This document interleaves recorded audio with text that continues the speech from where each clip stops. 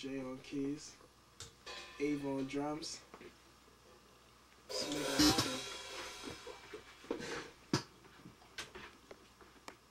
I'm gonna do how we usually do it from the past two episodes that we had.